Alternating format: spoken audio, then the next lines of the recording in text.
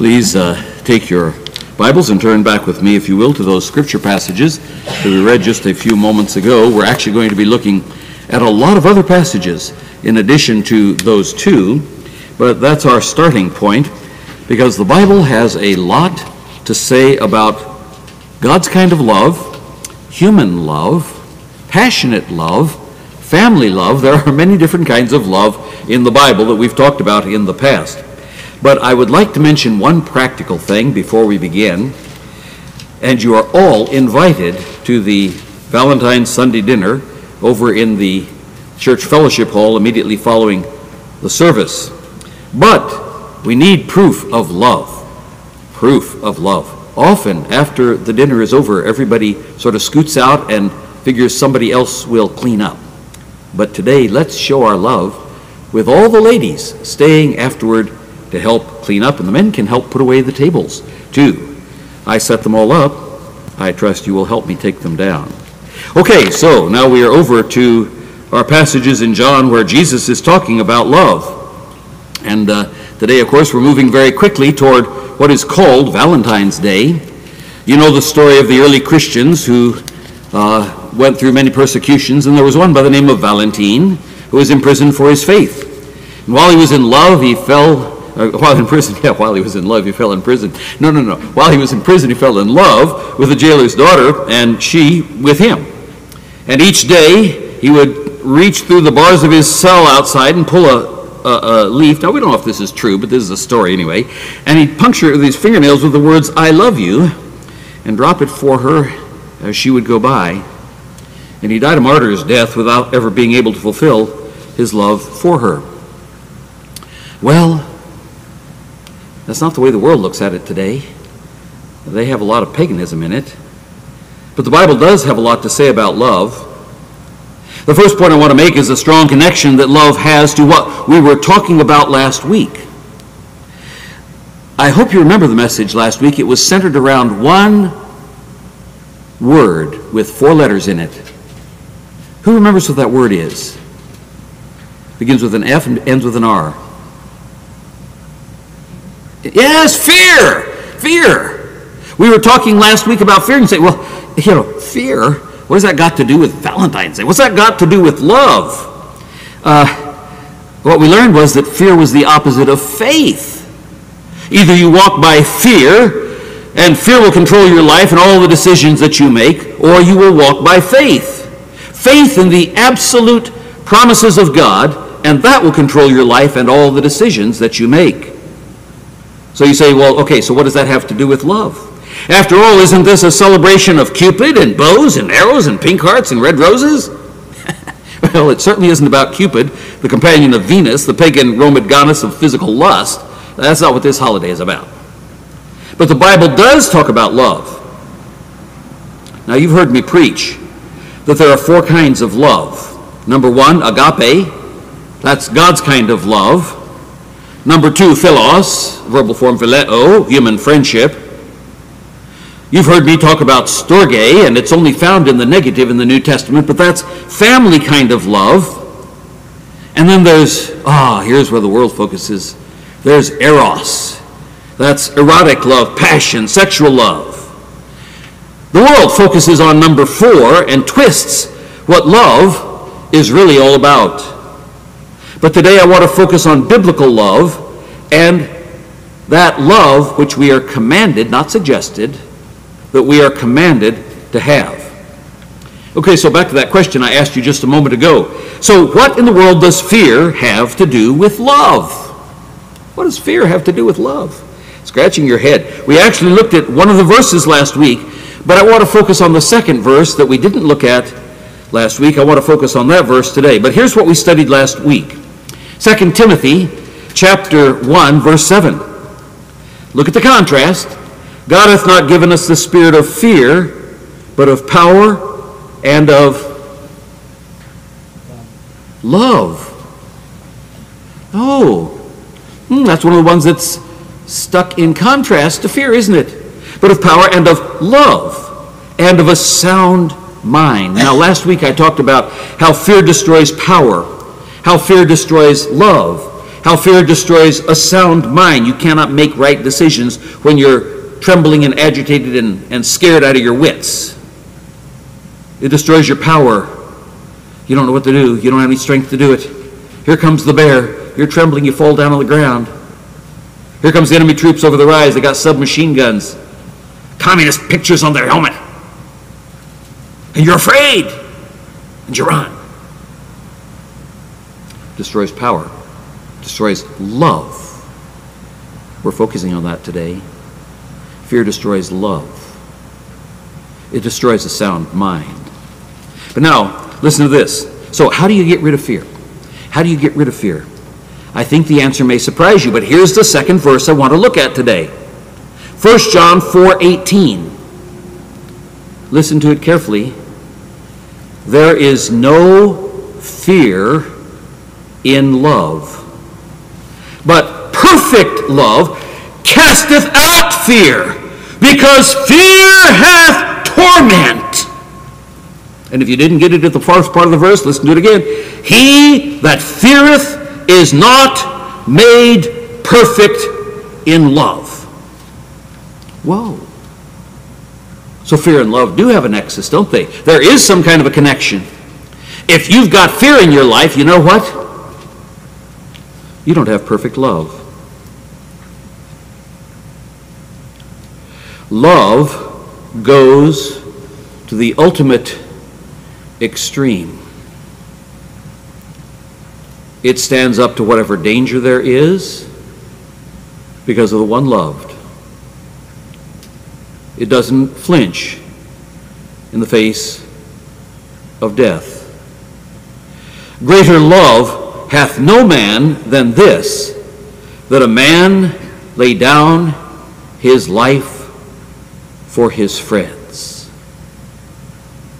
What's the next verse? Ye are my friends, if ye do whatsoever I command you. Interesting connection between obedience and love.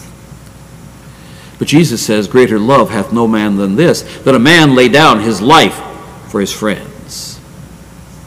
It doesn't say if a man lay down his life for the, the girl that he sort of likes a lot. It doesn't even have to have romantic love involved. It doesn't even have passionate love involved. It doesn't even have to have family love involved. A man who lays down his life for his friends.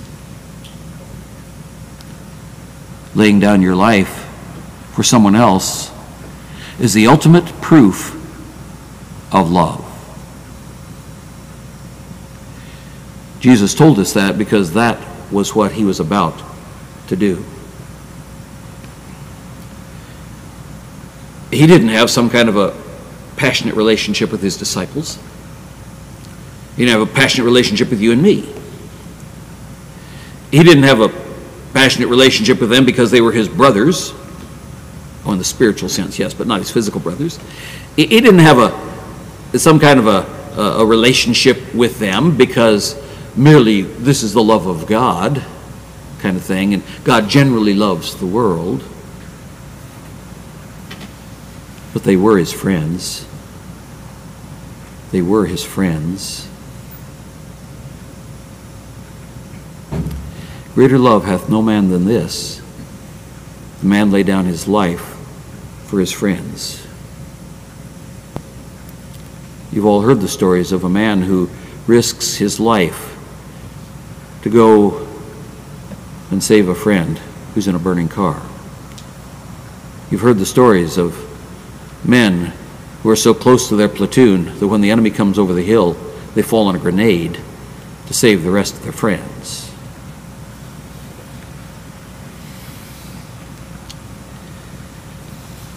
There is no fear in love. But perfect love casteth out fear. Because fear hath torment.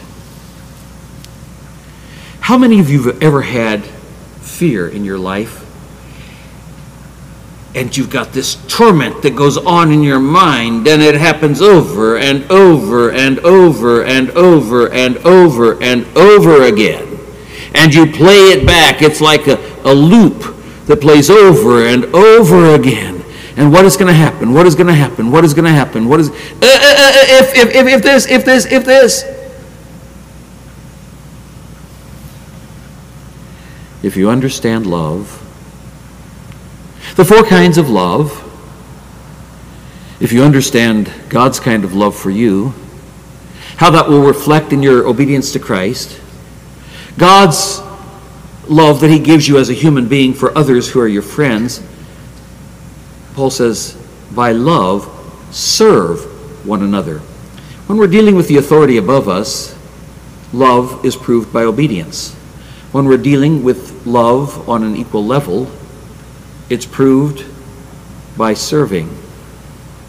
When we deal with love of the one above for the one below, it's proved by sacrifice. Sacrifice of everything. Are you in a position of authority? Those under your authority, you want to prove you love them? You learn to sacrifice. You learn to sacrifice. You learn to sacrifice.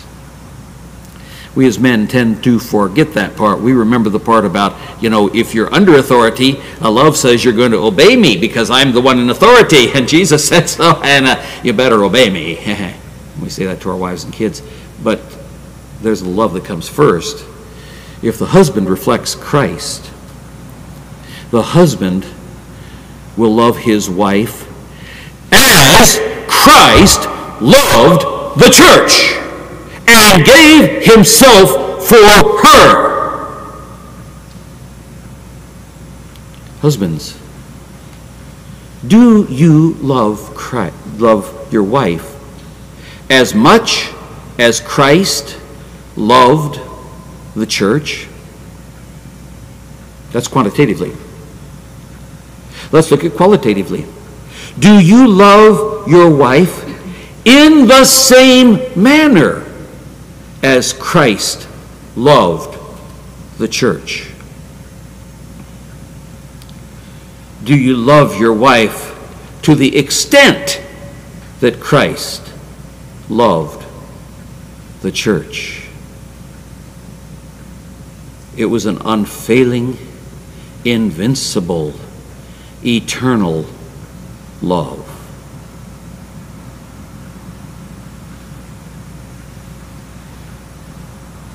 Husbands, do you love your wives that way? If not, why not? It's not a suggestion, it is a command. And perfect love casts out fear. When you love someone that way, you're willing to die for them. You're willing to stand between them and danger. You're willing to protect them no matter what it costs you. Love from above sacrifices for and protects those underneath. That must come first before you can expect love underneath to be obedient to you. If you want to prove that you're Jesus' disciples, Jesus said, By this shall all men know that ye are my disciples, if ye have love one for another. That love is proved by service. That's what the scripture says. By love, serve one another. So it doesn't matter which level you're at top level, middle level, bottom level. Love has visible demonstrations of what we are supposed to be doing in the real world around us, how we are supposed to be interacting with the people who are around us. There is no fear in love, but perfect love casteth out fear, because fear hath torment he that feareth is not made perfect in love. Now, that verse is in the context of the love of God which He has for us and how we are to imitate it toward others. Look, going back to verse 16, this is, we're in 1 John 4. And we have known and believed the love that God hath toward us. Here's the declaration of the character and nature of God God is love. And he that dwelleth in love dwelleth in God, and God in him. Pretty blunt. You know, we sort of get along with each other. We sort of tolerate each other. We sort of get from here to there, you know, day by day, and just hope that uh, we're not, you know, tripping over some other believers who are deliberately trying to get in our way, that kind of stuff. That's not what this is talking about. This is talking about the way God loves you. We have known. We've got it in our head. We have believed. We've got it in our heart. The love that God hath to us. Do you understand the love that God has toward you? And that while we were yet sinners, Christ died for us? The love that God hath to us. God is love. That is his character. That is his nature. He that dwelleth in love, we're talking biblical love, dwelleth in God. You live in him. You move in him. You breathe in him. You have your being in him. Paul quotes that in his Sermon on Mars Hill in Acts 17. The world understands that. Many Christians don't. And God in him.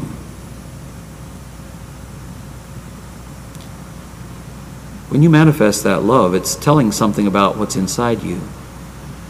Because if God is dwelling in you, you can't restrain his love pouring out of you to others. Is that what you're known for?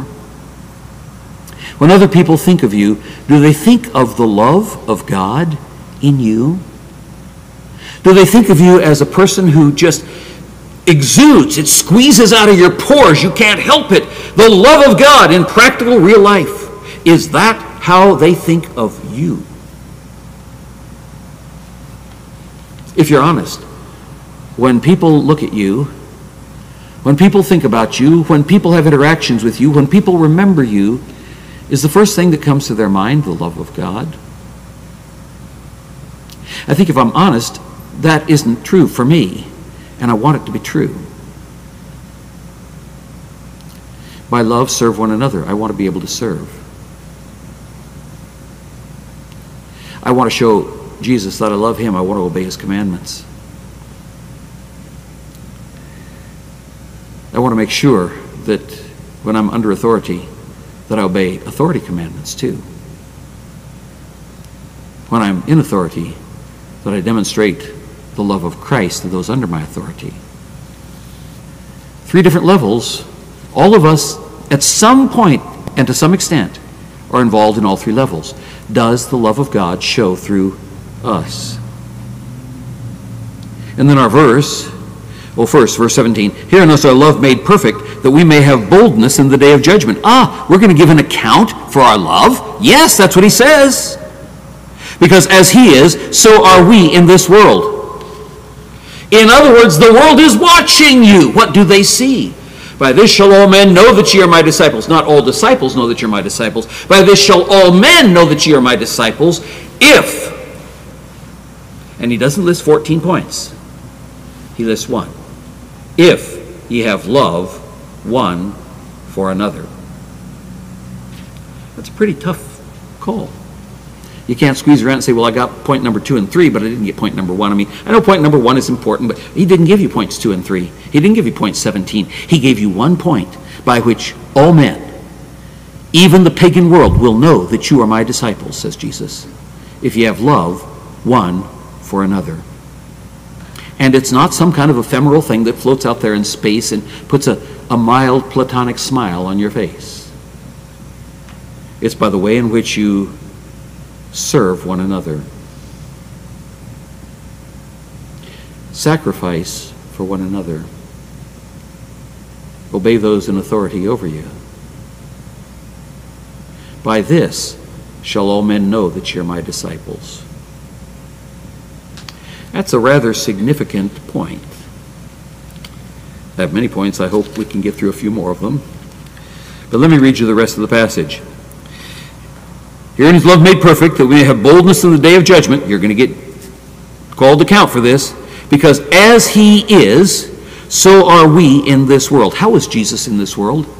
You want to find out how Jesus was in this world? You can start at the Genesis 1 1. In the beginning, God created the heavens and the earth. But as he is in this world, what was Jesus like when he came and walked in, you know, sandal leather here on earth and lived on earth for 33 years? What did he do? Oh, we don't have a whole lot about his childhood. We got some about his birth. We know when he went to Jerusalem uh, uh, when he was 12. Uh, but there are lots of silent years in there, aren't there? But the Bible gives us an awful lot about who Jesus is and what he did, as you go through the four Gospels and you put it together and you find out what was he like. He was the visible manifestation of the love of God on earth. As he is in the world, he says, did you get that last phrase? So are we in this world. When you're walking in your sandal leather on planet Earth, do people see Jesus in you? That is, he was totally fearless, wasn't he? Perfect love casts out fear. He was willing to tell people how it is, why it is, and the fact that if they didn't get right with God, they were in serious trouble. When was the last time you challenged somebody and told them that? Or did you just overlook their lifestyle? You just sort of thought, well, I'll sort of squeeze by this one and hope somebody else witnesses to them because they get mad when you talk to them about God. They're controlling you with fear. Someday you give an account for that. Perfect love casts out fear. If you love them the same way that God loved you, the same way God loved the world and gave his only begotten Son, the same way that Christ loved you, here in his love, that Christ died for our sins according to the scriptures and was buried and rose again the third day according to the scriptures. Folks, we'll give an account for every time we did not show the love of Christ while we're walking in sandals here on earth. That's what it just said. And then our verse, there's no fear in love. But perfect love casteth out fear, because fear hath torment. He that feareth is not made perfect in love. You're not mature yet. That's a mark of maturity. Teleos maturity, made perfect, not made complete, not made whole. You're not grown up yet if you don't have this. And then that wonderful, beautiful verse. Why do we love God? It tells us in verse 19. We love Him because He first loved us. He was the instigator, if you will, of love. He took the lead. We didn't say, Oh God, we love you, we love you, we love you. Please love us, please love us. Oh God, please love us. Please help us out of our sinful, wretched condition. God said, Oh, well, I guess I have to do it. They're begging me. And uh, yeah, I guess they love me. So, okay, uh, let's, let's write down a formula. Uh, I love these people. Uh, Jesus, go down. He didn't do that. We love him because, not in spite of, we love him because he first loved us. It's not, we loved him and so God begrudgingly said, I guess I'll love them too. We love him because he first loved us. God was the initiator in the relationship. Now here's where the rubber meets the road, the practical shoe leather, verses 20 and 21. If a man say, I love God. Now that sounds pretty good, doesn't it? I mean, if, if I was going to take a poll here today, let me ask for a show of hands. How many of you here would say, I love God? Oh, some hands didn't rise up. Some people here don't love God. Ah, okay. That's all right. If a man say, I love God, do people say this? Yeah, y'all just said it, or at least most of you said it. I love God. Look at the next phrase. And hateth his brother, he is a liar. Oh, how dare you call me a liar? Well, if you don't love God, you're a liar. Oh, you hate your brother? You hate somebody? Somebody you just can't tolerate. You would love to see them run over by a semi truck. You would love for them to be over at the Olympics, visiting the Olympics, and suddenly the North Koreans come storming in and shoot up a bunch of people, and they got one of the bullets. if a man says he loves God and hates his brother, I didn't say it, the Bible says it. He is a liar. For he that loveth not his brother, whom he hath seen, how can he love God, whom he hath not seen? That's basic logic 101. Oh, I love something I can't see. I hate the stuff I can see. Well, yeah, yeah, yeah, but, but there's a lot of bad stuff out there. Yeah, I hate this kind of bad wickedness, and I hate the devil, and I hate his demons, and I, you know. Well, how about other Christians? We're talking about brothers here. We're talking about brothers. If a man say, I love God, and hateth his brother, God says, you are a big fat liar. He is a liar. For he that loveth not his brother whom he hath seen. Your brother, somebody Christ died for, somebody who's trusted Christ, somebody who is desperately struggling in their Christian life to, to learn to walk by faith, someone who's growing in Christ, someone who loves the Bible and wants to know God better and better and better.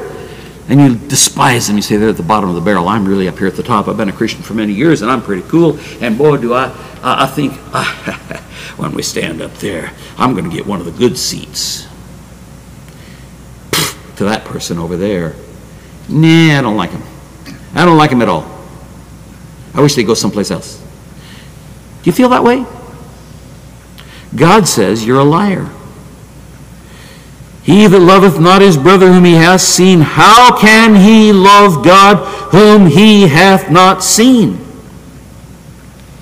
Now, and here is a great suggestion from God if you feel like it. That's how this verse, next verse starts. And here's a great suggestion from God if you feel like it, that he who loveth God love his brother also. Is that what that verse says, verse 21? You know, that's not King James for sure. And this commandment have we from him, that he who loveth God love his brother also.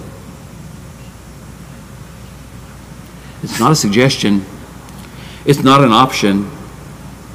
If you're a believer, God just gave you a commandment. God just gave you a commandment. Jesus says, If you love me, keep my commandments. What's one of the commandments? Here's the commandment we have from him that he who loveth God love his brother also. Why does God require that? Goes back to what we just said a minute ago. By this, that is the love that you have one for another. By this shall all men know that ye are my disciples. Do you think God wants you to know, uh, the, God wants you the world to know that you are a disciple of Christ? Do you think that God wants the world to know that you're a disciple of Christ? If you think yes, raise your hand. Yeah, yeah. God wants us, God wants the world to know that we're disciples of Christ. Well, he says, here's how you do it. If ye have love one for another. He's not talking about our love toward God. We've already got that. Now he says, I want you to show it to people. He's not talking about erotic love, that's quite obvious, because they're supposed to love one another. He's talking about the kind of love on the three levels that we talked about a moment ago. Under authority, we obey authority. Same level, by love, serve one another. When we're in authority, we sacrifice for those under our authority. By this shall all men know that ye are my disciples, if ye have love one for another. And it's going to be visible, and the world's going to see it, and they're going to understand that. Because that's something they don't almost ever see, and it will draw their attention. It will catch them by surprise. They'll say, These are Christians. We know them by their love. Ah. We're talking about love today. Love In 1 Corinthians 13, faith, hope, charity, but the greatest of these is charity. That's agape. That's God's kind of love. When you demonstrate the kind of love that God had when He sacrificed His Son, He gave everything for you. Let's see uh, how Jesus loves with that in mind. We've got five minutes to go through 500 verses. uh, 100 a minute. Yeah, hurry up, hurry up, right? Matthew 5:43 You have heard that it hath been said, Thou shalt love thy neighbor and hate thine enemy. But I say unto you, love your enemies. Bless them that curse you. Do good to them that hate you. Pray for them which despitefully use you and persecute you. For if ye love them which love you, what reward have ye? Do not even the publicans the same? Ooh, well, a minute ago we were talking about loving the brethren and say, well, man, that was that's a hard enough one to swallow. But how does Jesus love? Well, I mean, yeah, you know, we're his brethren. I mean, the book of Hebrews talks about how he came to, you know, save brethren. And uh, so, yeah, I guess we a lot to learn to love each other. Jesus takes it further, doesn't he? Not only do you love your brother, not only do you love your neighbor, but you don't hate your enemy. God's not involved in hating people. And he doesn't want you to be that way either, even if they are your enemy. Suppose they've declared themselves your enemy and they've told you to your face they're going to do everything they can destroy you in your company, for example. They're going to spread lies about you. They're going to spread rumors about you. They're going to spread slander about you. They're going to do everything they possibly can to nail you to the wall and get you fired. Now, you have a couple of options. You can say, I think I'll just resign and go someplace else where I have to deal with it. A lot of people do act like that.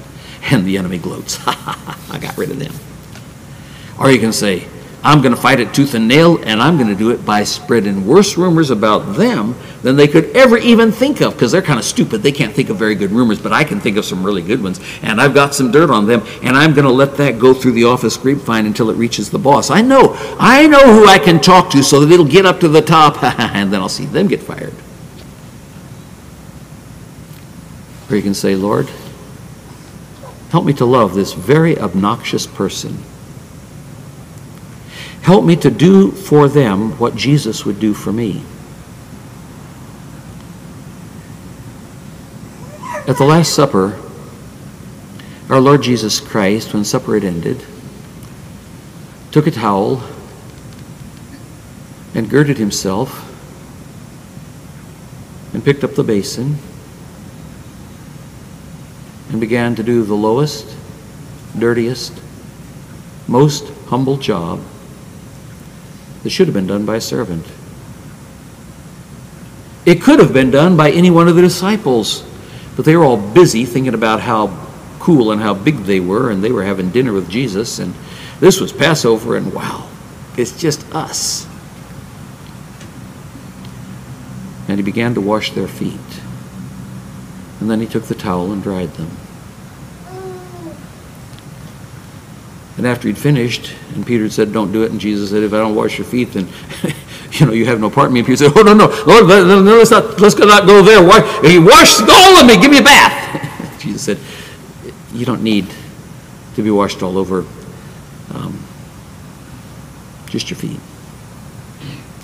And then he put away the towel and he said, You know what I've done unto you? He says, If I've done this unto you, and I'm your Lord and Master, you ought to do this for one another.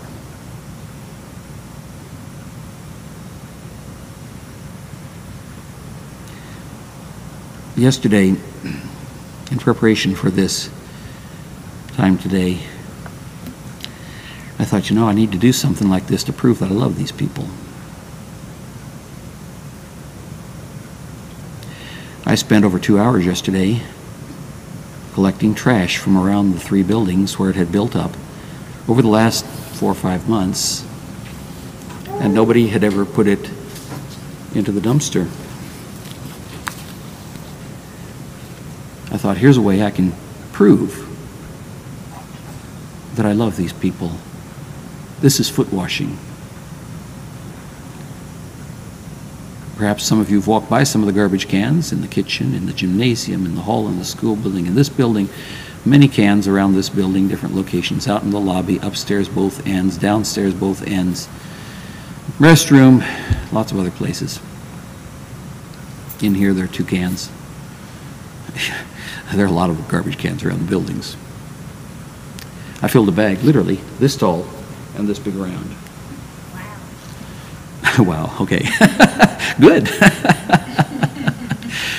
Thank you. Um, people, I love you. I'm not very successful at that, at showing that. I'm a man, and I know I use that for an excuse that I don't show love as well as other people do. But um, by love, serve one another. In just a few moments, we're going to be going over to the um, fellowship hall, and you're all going to be enjoying a very nice dinner that the ladies have prepared, thanks to Kathy organizing and assigning jobs and things like that. But the one thing that doesn't often happen afterwards is ladies who stay and help clean up. By love, serve one another, not just doing the fun things. By love, serve one another. Do some foot washing. Well, I had much, much more here. But Jesus talked about love a great deal, and he talked not only loving neighbors, not only loving friends, not only loving other brothers and sisters in Christ, he talked about loving our enemies and blessing those that curse us and doing good to them that hate us and praying for them which despitefully use us and persecute us. We have a ways to go, folks. Well, there's much more I'd like to say, but I can tell you that means since I've already written all this stuff out, I got to page three out of 10 pages. I have next year's sermon already. Do you love God? If you hate your brother, Jesus says you're a liar. Do you understand the three levels of love, how we interact with one another? Love, if you're on top, means you sacrifice people underneath you. Love in the middle, you serve one another. Love underneath, you obey. By this shall all men know that ye are my disciples, if ye have love one for another. Our gracious Heavenly Father, we thank you once again for the privilege of studying your word. And now we thank you that your word has declared that love is the solution to fear. Perfect love casts out fear, for fear hath torment. If we don't have love, we will have fear. And we have to have the kind of love that you talk about, that you describe in your word, the thing that draws us closer to one another in the body of Christ. Thank you, Father, for the practical application of the theological truth that we know in our heads, but sometimes don't practice in our lives. Help us to love like Jesus loved. For we pray it in Jesus' name. Amen. And before we have that final hymn and head over for the food, let me just say one other thing. I was thinking, how can I do this so we can emphasize by our dinner to, together today that, uh, that we have that unity? Usually we set up individual tables and different people choose different tables and sit everywhere. I have set the tables up in sort of a circle so that we'll all be sitting at the same table together. I hope you can join us. Let's stand to sing our final hymn today. It's hymn number 606, O Love That Will Not Let Me Go, number 600.